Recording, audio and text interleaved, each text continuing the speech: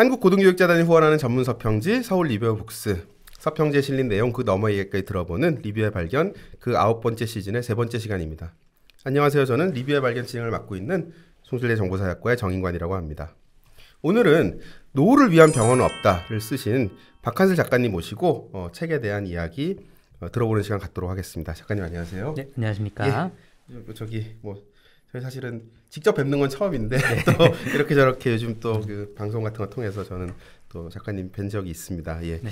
요즘 어떻게 지내시고 계신지 근황 좀 들려주면 감사하겠습니다. 아 지금 저는 이제 약사로 일을 하고 있지는 않고요. 예. 지금은 이제 연세대 이제 통계 데이터 사이언스학과에서 이제 석사 과정을 밟고 있습니다. 저희 그 지도 교수님이 이제 임상시험 통계학 분야에서는 좀 거의 국내에서 제일 대가이신 예. 강승호 교수님이셔서 이제 그쪽에서 통계학을 공부하고 싶어서 들어갔는데 예.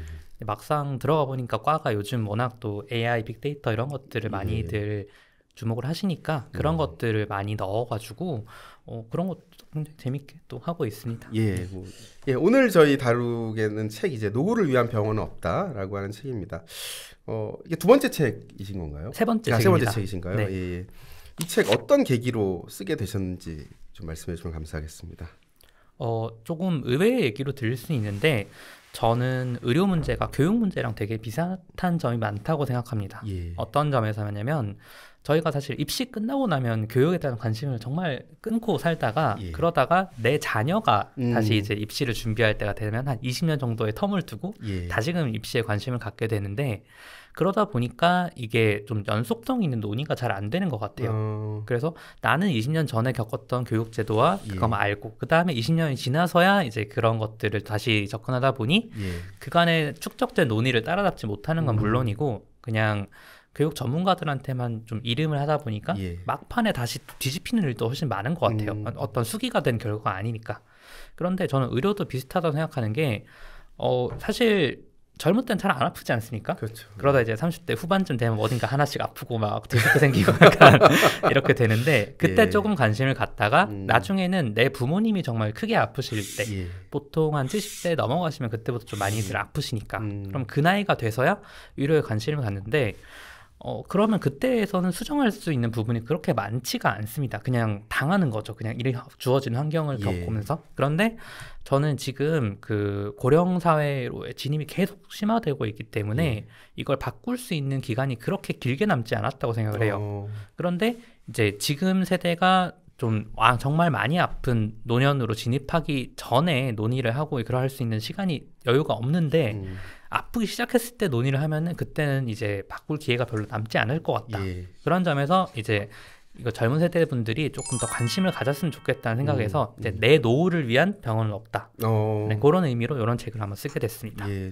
방금 말씀하신 것처럼 이제 그 저희 책을 보면은 책을 쓰신 목적 자체가 뭐 지금 나의 노후를 위한 뭐 말씀을 하셨지만 네. 이제 기본적으로 사람들에게 한국 의료의 상황과 정보를 제공하고 그다음에 현재 의료 체계가 굉장히 좀 명확하게 말씀하세요. 이 체계는 지금 이게 정상적인 것은 아니다. 네. 뭔가 정상적이지 않다라고 한, 한다는 것은 결국 이게 영원히 지속 가능하지 않은 그런 시스템이다라는 걸 강조하셨습니다.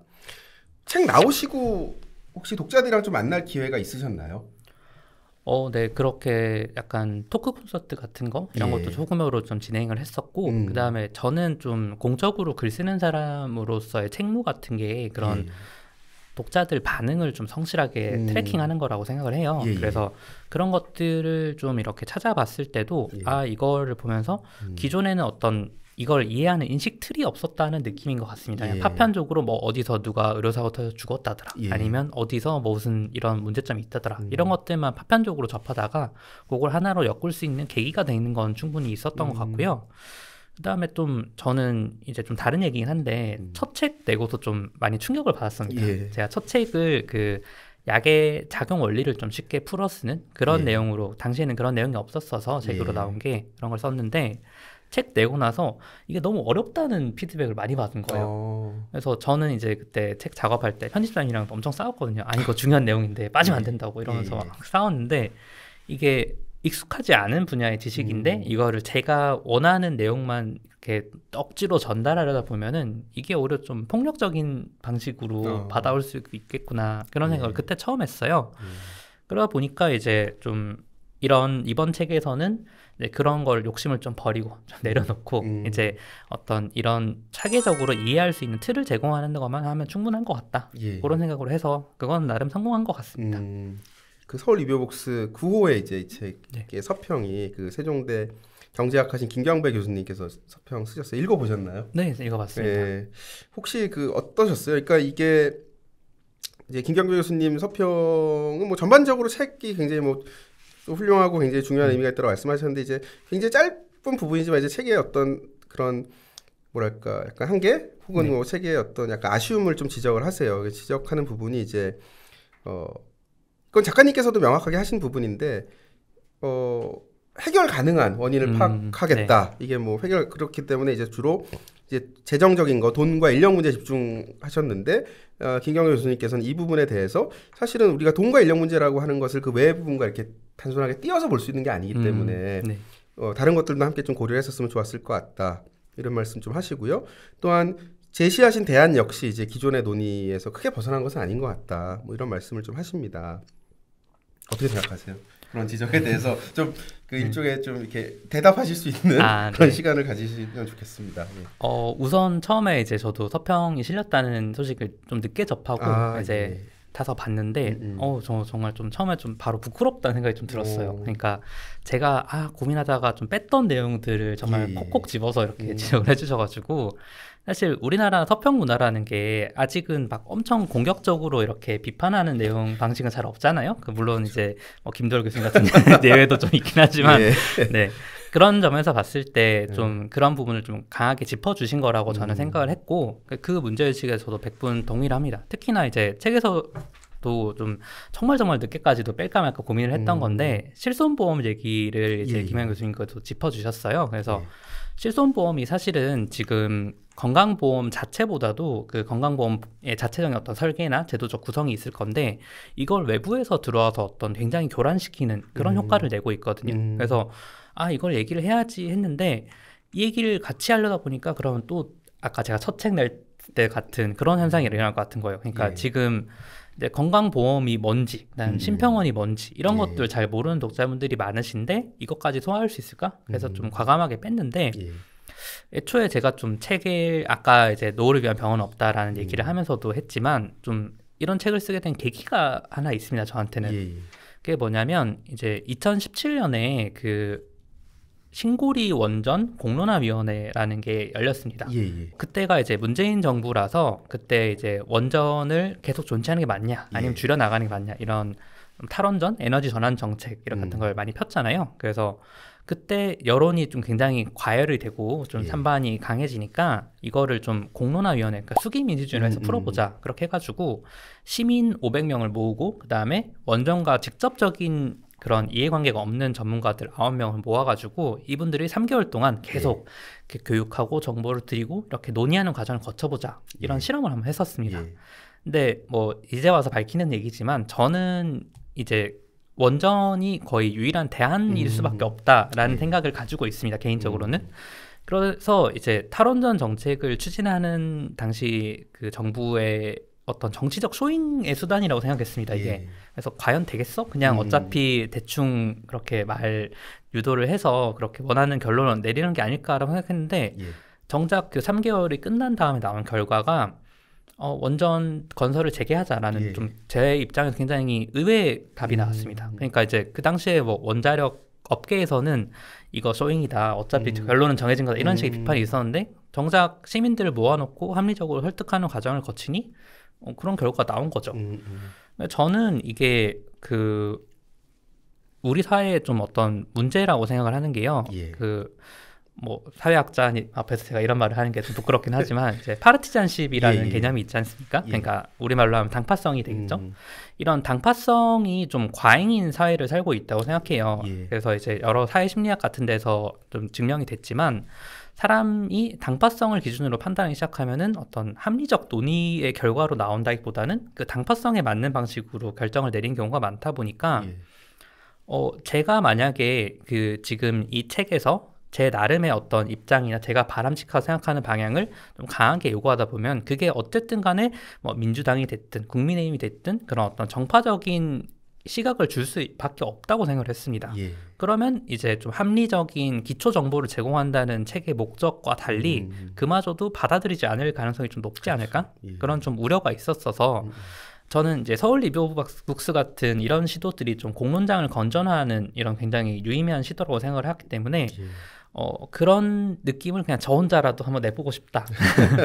그래서 이제 그런 좀 무미건조한 그런 음. 것들 다 빼고 책을 쓰게 된 거고 예. 이게 우리가 프링글스 같은 것도 한 번 먹으면 아 뭔가 좀 아쉬운데 해서 계속 먹게 되잖아요. 그렇죠. 결국 예. 한 통을 다 비우는 그렇죠. 이런 마법 같은 일이 벌어지는 것처럼 예. 제 책을 계기로 좀 그런 것들에 관심을 갖는 계기가 됐으면 음. 네, 그렇게 생각을 합니다. 저는. 음.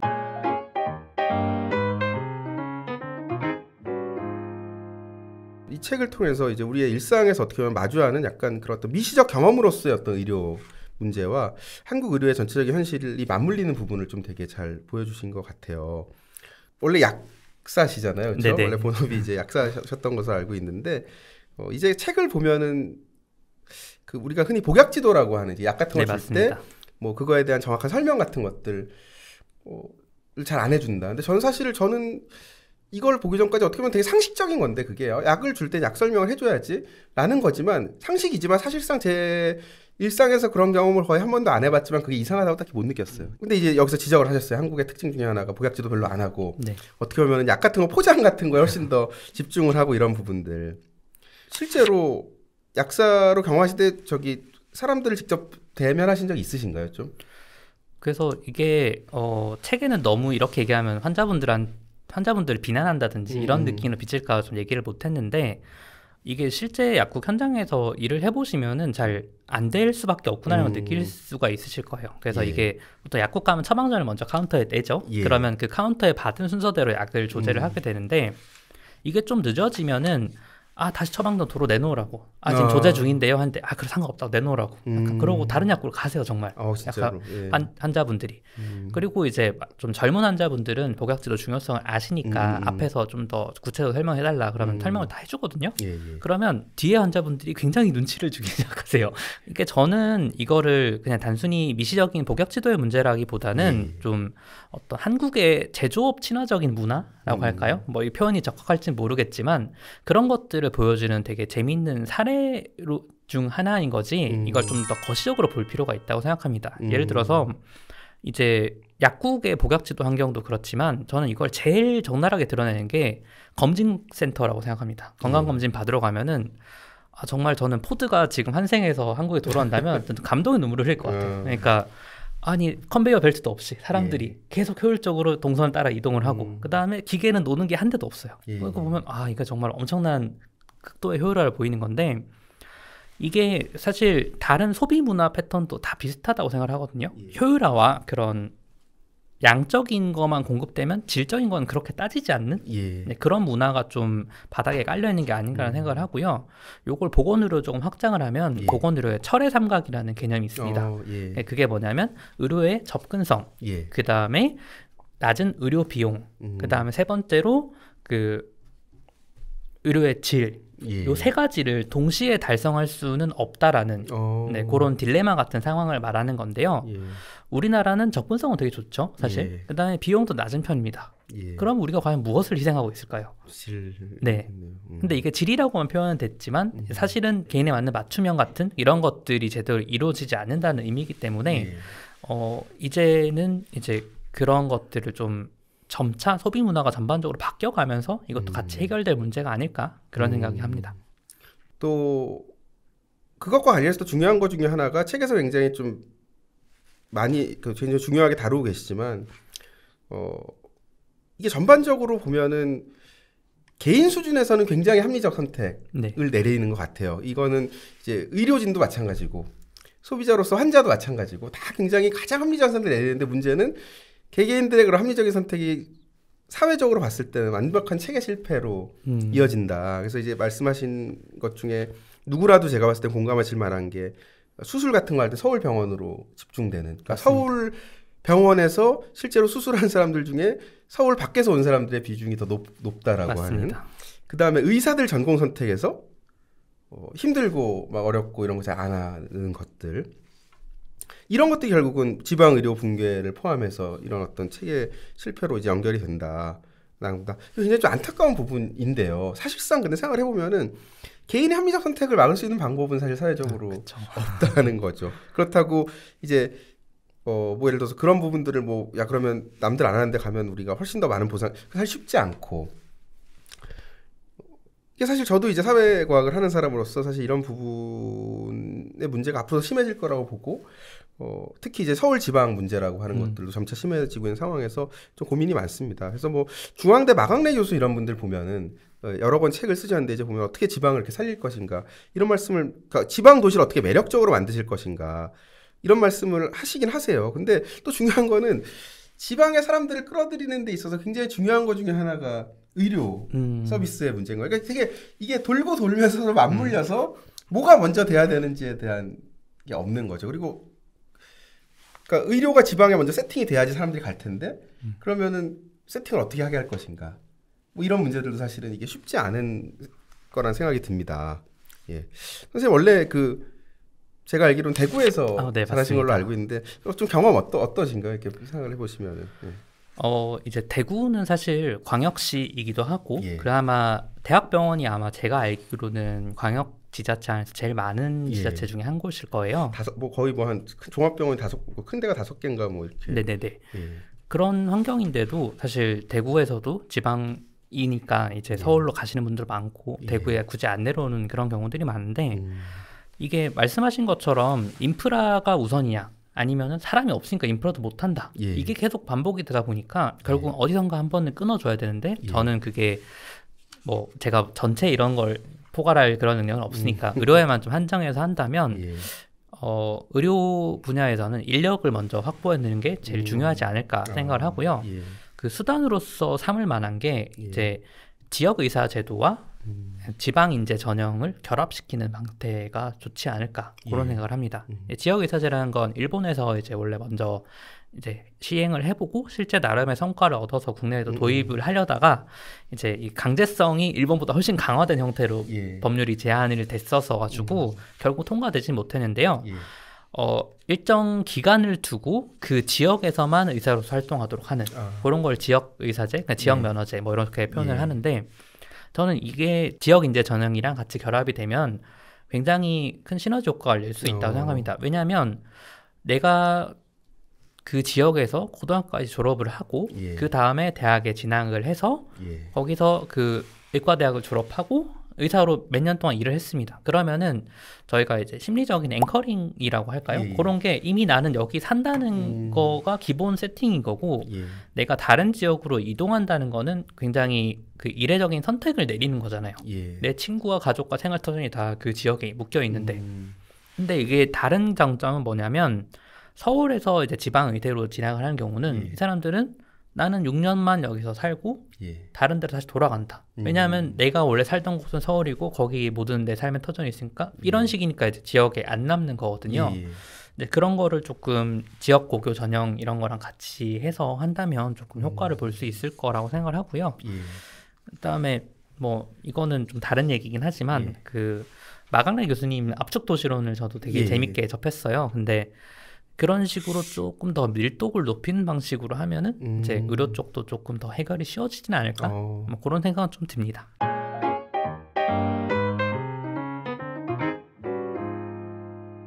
책에 이제 방금 일본 사례 말씀하셨는데 뭐 이렇게 고민하시는 문제들 관련해서 해외 사례를 좀 찾아보시는 편인가요? 이게 우리나라가 지금까지의 어떤 정책 도입이나 이런 역사를 봤을 때 어, 뭐 이런 표현을 써도 되는 약간 무지성으로 정책만 쏙 음. 들고 오는 경우가 많았습니다. 예, 예. 그러다 보니까 어, 어떤 그 정책이 자리 잡은 사회문화적인 배경은 어. 좀 빼고 그냥 이런 게 좋아 보이니까 우리도 해보자 이런 예. 경우가 많았는데요. 우리나라도 이제 그럴 시기를 넘어서 버렸고 예. 이제 더는 그렇게 참고할 만한 나라가 별로 없다는 어. 게 문제입니다. 예. 고령화 같은 경우는 일본 정도를 제외하면 사실 음. 참고할 만한 그런 나라가 없기도 하고 예. 일본도 의료 체계가 우리나라랑 조금 다르기도 하고요. 예. 그나마 좀 돌봄 측면에서는 조금 이런 거를 가지고 올 수가 있는데 음. 어, 이게 일단 제가 일본을 못해서 그런 것도 있고, 그 다음에 좀 여러 전문가들 말씀만 통해서 이렇게 간접적으로 접했습니다만, 예.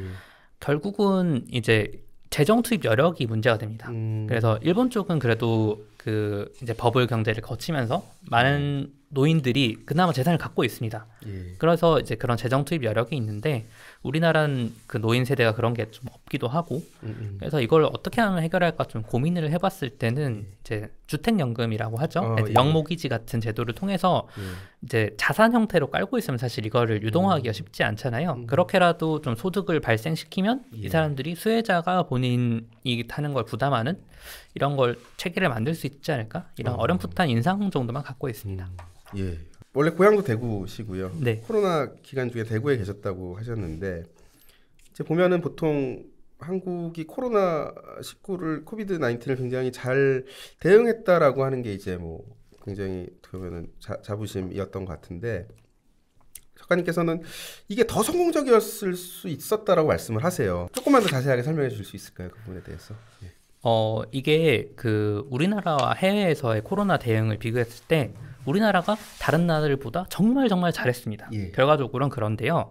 이게 잘한 부분과 못한 부분이 조금 차이가 있다고 음. 생각합니다. 이제 서방권에서는 확진자가 늘어나는 걸 막지를 못하는 거에 더 가깝다고 생각합니다. 저는. 예. 그래서 이게 너무 넘치다 보니까 결국은 이제 한계가 와서 의료까지 도미노로 무너진 그런 음. 상황이라고 할 수 있는데 우리나라는 다행히 그 우리 정의경 질병청장님께서 굉장히 예. 고생하셨듯이 예. 이렇게 방역 정책을 잘 해서 그 확진자가 급증하는 것들은 잘 막아냈는데 음.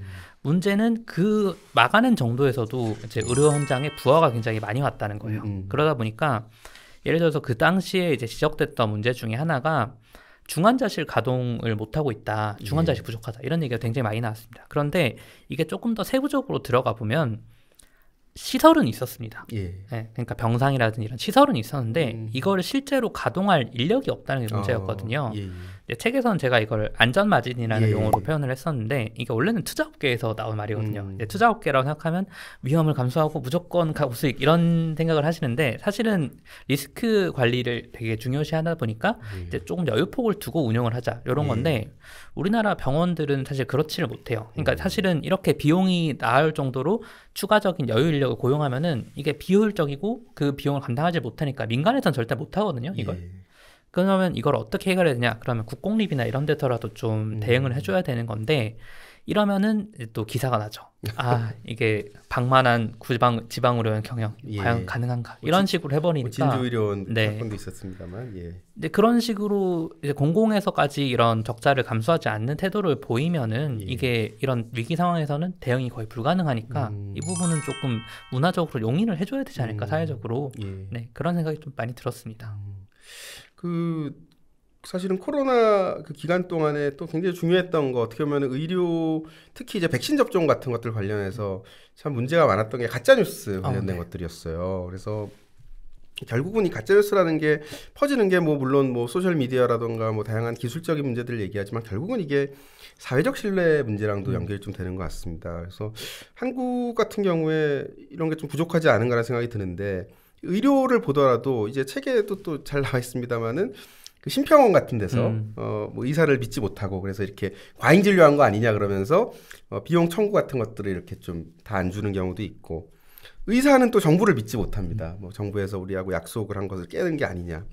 환자도 또 의사를 믿지 못하고 음. 약도 믿지 못하고 이런 어떤 상황에서 아까 처음에도 얘기했지만 이게 지속 가능하지 않은 이 의료 시스템은 결국 바뀔 수밖에 없는데 많은 어떤 인구 구조의 변화라던가 뭐 이런 것들로 인해서 바뀔 수밖에 없는데 이렇게 바꾸기 위해서는 결국은 이게 장기적인 어떤 그런 신뢰가 필요한 거지 않습니까 서로 어, 의사와 뭐 환자와 또 정부 사이의 어떤 신뢰 같은 것들이 필요할 텐데 이게 과연 가능할까? 음. 뭐 이런 좀 회의적인 네. 좀 생각이 들기도 합니다. 어떻게 생각하시나요?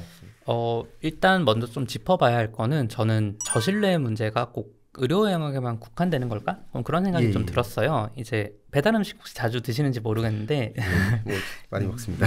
네, 치킨 같은 거 시키면은 예. 요즘에는 꼭 안심 스티커라는 게 붙어서 음, 오잖아요. 예. 이게 도입이 된 게 참 황당한 게그 음. 그 이제 배달 노동자분들이 배달 과정에서 치킨을 몇 조각씩 빼먹는다 아이고, 이런 예. 얘기들이 나오면서 물론 이런 분들이 없진 않겠지만 얼마나 되긴 하겠어요. 그런데 이게 저는 좀 놀랐던 게 피자에도 안심 스티커를 붙여서 오더라고요. 피자는 뭐 떼먹을 게 그렇죠. 그 여덟 조각에서 하나가 빠지면 예. 바로 티가 나는 건데 예. 그렇게까지 하는 이유가 저는 음. 좀 우리나라는 제도적으로 어떻게 저신뢰를 극복하려는 게 아닐까? 사람들이 음. 개인을 믿는다기보다는 어, 예. 기관을 믿는다거나 어떤 제도적으로 이런 걸 했을 때 처벌을 받는다든지 이런 음. 것들이 좀 메인이 된 것 같다는 생각이 예. 들었어요. 그래서 이거를 해결하기 위해서는 의료 문제에서도 이제 개인이 하기는 어렵고 협회에서 하는 게 좀 중요하다고 생각합니다. 음. 아. 네, 그래서 우리가 의사협회나 뭐 약사회 같은 그런 단체들이 아직은 예. 좀 이권 단체다라는 예. 인상이 훨씬 더 강하지 않습니까? 예. 공익적 기능을 수행한다기보다는 음. 그러니까 어, 의료인 중에서도 가짜뉴스 퍼트리는 이런 사람들이 되게 많았어요. 어. 그래서 의료 이런 게 위험하다 이런 무슨 백신에 괴생명체가 있다는 음. 산부인과 의사분도 계셨고 뭐 이런 일들이 있었는데 이거를 이제 협회나 이런 단체 차원에서 좀 강하게 음. 징계를 한다든지 뭐 이런 것들을 하면서 사회적 신뢰를 좀 쌓아나가는 과정을 보여주고 예. 이제 이런 식으로 우리 협회 내에서 자정이 되고 자발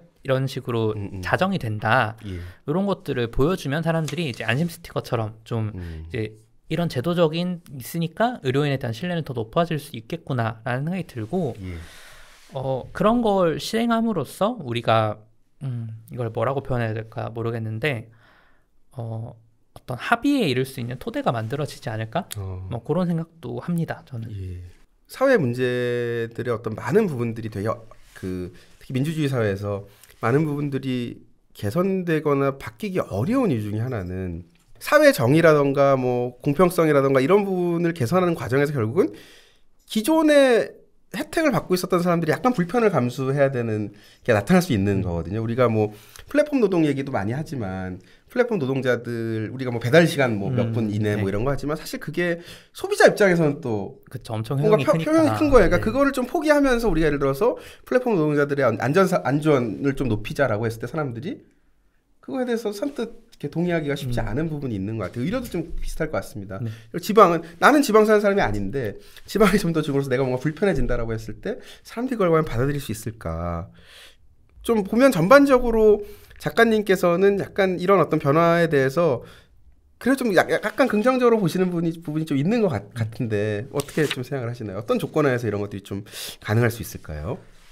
어 저는 이런 걸 좀 긍정으로 보는 게 예. 아까 이제 공론화위원회 사례라든지 음. 그런 수기 실험이 성공을 하긴 했지 않습니까? 예, 근데 예. 근데 그런 것도 더 있고 어 무엇보다 사람들이 현실을 좀 명확히 알면은 그 다음에 어떤 걸 할지를 선택할 수 있을 음. 거라고 생각해요. 그래서 아까 이제 제가 철의 삼각이라는 개념을 소개했는데 예. 의료의 접근성, 그 다음에 낮은 의료비, 그 다음에 음. 의료의 질 세 개를 동시에 담보할 수는 없다 음. 이런 얘기를 드렸었는데 그러면 우리가 뭘 포기할 거냐라는 음. 그게 남는데 거기서도 특히나 이제 어떤 것들을 어떤 식으로 풀어나갈 거냐, 특히나 재정 문제를 예. 이런 선택지가 나올 수밖에 없어요. 그러니까 저는 그게 결국은 두 가지로 압축이 된다고 하는데 첫 번째는 전통적인 복지국가 형태로 돌아가는 겁니다. 예. 그래서 탈상품화를 하는 거죠 의료 분야를. 음. 네, 그렇게 하려면 이제 영국의 그런 어떤 NHS 같은 시스템으로 가서 예. 조세 형태로 재정을 충당하고 음. 이제 사람들이 이제 그런 공적인 영역 내에서만 의료를 해, 이게 누리도록 이렇게 할 수 있는 방법이 있는데 이렇게 되면 문제가 대기 시간이나 이런 게 굉장히 길어지고 길죠. 네. 저도 경험해 봤습니다. 아, 영국 다녀오셨군요. 영국에서 1년 반 정도 살았는데 그 이빨이 너무 아파서 한국 왔습니다. 기다리는지 아. 그냥 가자. 그래가지고 그러니까 이게 참 그런 거를 한국 사람들이 음. 과연 좀 견딜 수 있을까라는 예. 조금 생각은 드는데 이렇게 되면 우리가 어떤 재산 수준이나 소득 수준에 따른 의료 접근성의 음. 차이는 없어집니다. 예. 네, 그러다 보니까 그런 공정함은 달성될 수가 있고요. 음. 다른 하나는 어, 건강보험에서 좀 예. 필수적인 그런 것들만 남기고 나머지 질환들은 좀 네가 알아서 해라 아니면 민영보험 어, 같은 데서 해라 어. 이런 상품으로 이제 내던지는 거죠 사실 어떻게 예. 보면 이제 미국 같은 형태로 가는 거라고 할 수 있는데 이러면 정말 뭐 암이라든지 중증 외상 같은 이런 중증 질환에 대해서는 국가가 명확히 보장을 해주되 음. 나머지 질환에 대해서는 네가 돈 낼 수 있는 만큼만 써라. 예. 이렇게 가는 건데 이러면 이제 어떤 대기 시간이라든지 이런 것들은 많이 줄어들 수가 있지만 음. 사실 이게 공정하다고 보기는 힘들잖아요. 어떤 그렇죠. 어, 예. 건강할 권리라는 이런 권리 음. 담론 같은 것들을 생각했을 때는 더더욱 그런데 결국 선택지는 둘 바 정도밖에 없고 음. 보통은 앞에 거를 이제 진보적인 성향의 분들이 더 선호하시고 예. 뒤에 거를 보수적인 좀 성향들이 더, 예. 선호하시죠. 근데 이런 선택지가 있다는 것 자체를 인지하지 않고 그냥 의료 어떻게 뭐 이렇게 하는 것보다는 음. 둘 중에 어떤 걸 할지를 명확하게 선택을 할 수밖에 없다고 생각합니다. 방향성을. 예. 네, 그거를 알고 난 다음에는 이게 이런 점에서 이게 좋다, 이런 점이 좋다, 이런 논의들이 음. 이어질 수가 있으니 네, 그렇게 하다 보면 결국 잘 방향이 설정되지 않을까 생각을 합니다. 어렵네요. 저한테 고르라고 하면 아, 이거 서, 섞으면 안 되나 그런 네. 들것 같은데. 이게 지금까지는 우리나라 의료가 그렇게 기능을 잘 할 수가 있었던 게 예. 인구 구조가 피라미드 구조로 다돼 그렇죠. 있으니까 예. 의료비가 부담이 됐습니다. 그런데 예. 역 피라미드 구조니까 이제 지금 같은 의료는 거의 불가능해진 거죠. 네. 진짜 어렵네요. 예. 그 의료 접근성 문제 관련해서 조금만 더 얘기를 해볼게요. 이 그 보면은 비대면 진료 말씀을 하세요. 비대면 진료에 대해서 우리 굉장히 좀 긍정적으로 바라보시는 것 같습니다. 제 주변에 보면은 사실 비대면 의료에 대해서 조금 얘기를 해봤을 때 조금 사람들마다 음, 입장이 굉장히 그쵸. 많이 다르긴 하더라고요. 그, 그 어떤 면에서 좀 긍정적으로 보시나요? 이게 가져올 수 있는 좀 분명히 위험성 같은 것도 있을 수 있는데, 예, 우선 이제 제일 먼저 확실히 해야 되는 거는 예, 비대면 진료는 대면 진료보다 절대로 우월할 수가 없습니다. 예, 네, 그거는 명확히 해야 되고요. 음. 그런데도 제가 이제 비대면 진료를 조금 긍정적으로 바라보는 이유는 의료인 입장에서 투입 비용이 굉장히 줄어들기 때문입니다. 어, 네, 보통 이제 저희가 동네 병원 개원할 때 한 5억 정도가 든다고 보시면 맞을 거예요. 아이고, 의료 장비라든지 이런 것들 들이고 인테리어하고 뭐 이런 거 다 하다 보면은 근데 그러면 그 하루에 봐야 되는 환자 숫자가 얼추 나오겠죠. 그 금액에서 역산을 하면은 예.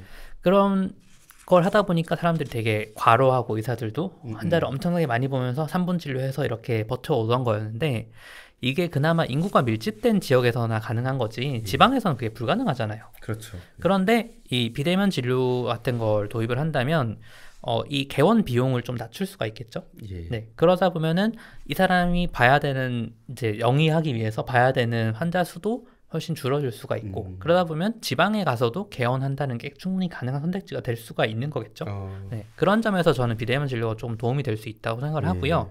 물론 이제 이렇게 떨어지는 형태의 지- 진료라도 대면 진료가 가려면 뭐 두 시간씩 가야 되고 이런 지역에서는 확실히 당연히 더 도움이 되는 거기도 음. 하고요.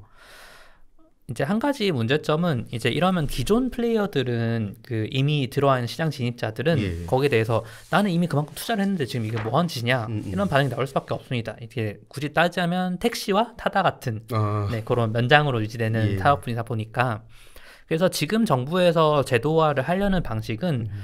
어, 지역 동네 병원에서만 가능하도록 하고 비대면 예. 진료가 예. 두 번째는 이거를 초지는 안 되게 재진만 아, 가능하게 아. 그러면 이 사람들이 이 동네 병원에 무조건 한 번을 방문했다가 다음에는 음, 이제 재진 형태는 비대면을 할 수 있으니까 그 지역 업권을 어느 정도 보장을 해주는 방식이에요. 예. 그러면 뭔가 파괴적인 혁신이 일어나진 않겠지만 음. 그래도 이런 비용들은 좀 낮춰줄 수 있지 않을까 그렇게 생각을 합니다 저는.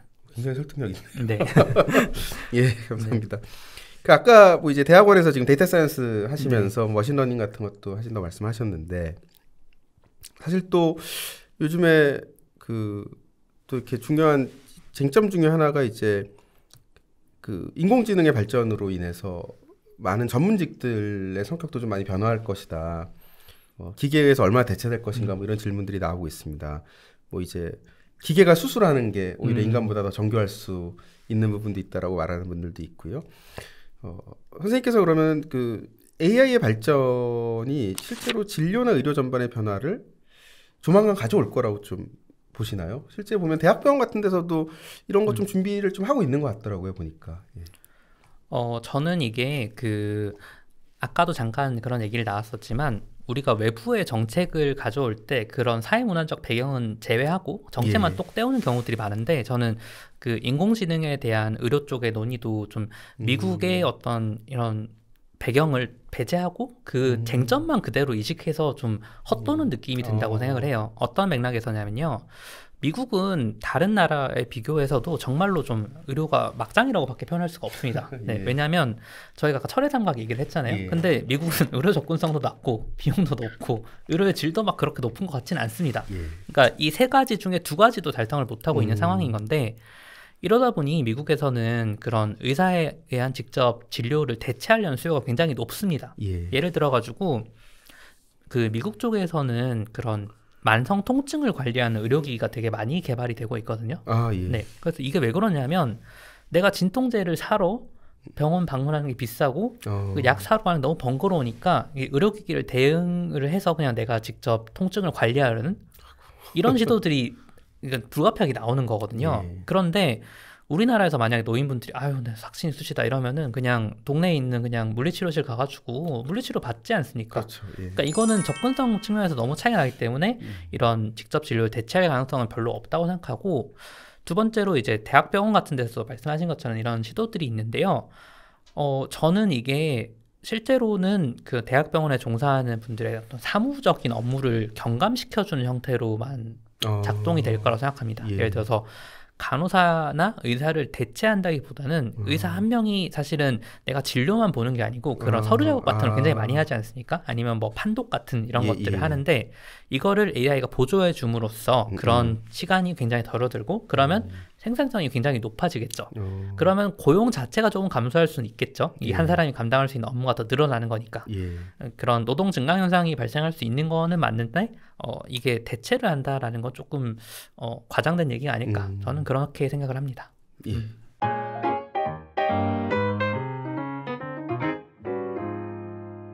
이제 이책 어떻게 보면 가장 뻘쭘할 수 있는 질문이긴 네. 한데 네.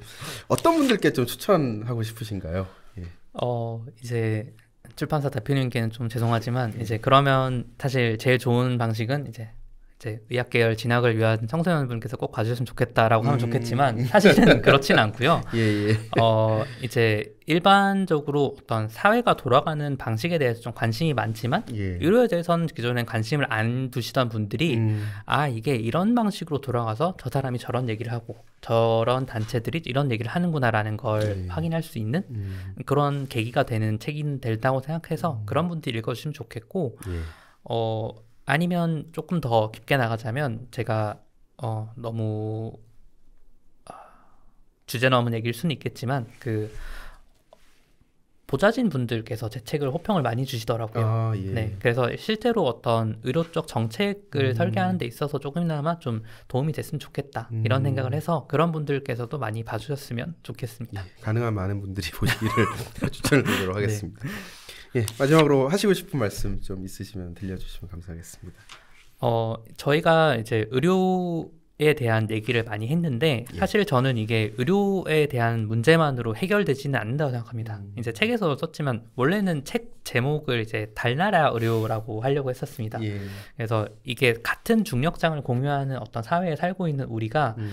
이제 그 달나라 병원만 이상할 수가 없다는 거죠. 그렇죠. 네. 그래서 뭐 과로 문제라든지 이런 다양한 문제들이 한국 사회에서 똑같이 반주 반복되고 변주되어서 일어나는 것들이기 음. 때문에 이런 것들에 조금 더 넓은 관심을 가져주셨으면 음. 좋겠다고 생각을 하고 특히나 이제 의료인 분들은 이제 이거를 의료 영역에서 병원 안에서만 바라보는 경향이 너무 강해요. 그러다 예. 보니까 아 이거 너무 억울하다 어떻게 야근을 이렇게 시키냐 뭐 이런 음. 얘기를 하는데 사실 그 돈 받으면서 야근하러 가면 되게 좋아하실 노동자분들이 많고 그런 더 예. 악질적인 노동 환경에 처한 분들이 훨씬 더 많거든요. 음. 근데 그런데 의사분들이 이런 문제점이 있다 얘기하면은 그분들이 되게 황당해하세요. 어. 저는 그걸 저도 이제 그런 분들과 얘기를 하다 보니 좀 느낀 건데 예. 어, 이런 격차가 분명히 존재한다는 걸 인정한 상태에서 조금 더 당신들이 더 좋은 의료를 받기 위해서는 이런 음. 부분이 개선되어야 합니다라는 좀 음. 같이 공동의 이해관계를 구축하는 노력을 해주시는 음. 게 좋지 않을까 생각을 합니다. 음. 그러니까 결국은 사회가 좀 더 좋아지면 의료도 더 좋아질 수 있다라고 하는 예, 그런 말씀이신 것 같습니다. 예, 오늘 바쁘실 텐데 이렇게 자리해 주셔서 좋은 말씀 들려주셔서 감사드립니다. 예. 지금 듣고 계신 리뷰의 발견은 한국고등교육재단에서 지원 및 제작되고 있고 2주에 한번 어, 금요일마다 여러분들 만나 뵙고 있습니다. 오늘 자리해 주신 박한슬 작가님 다시 한번 감사드립니다. 감사합니다. 감사합니다. 예.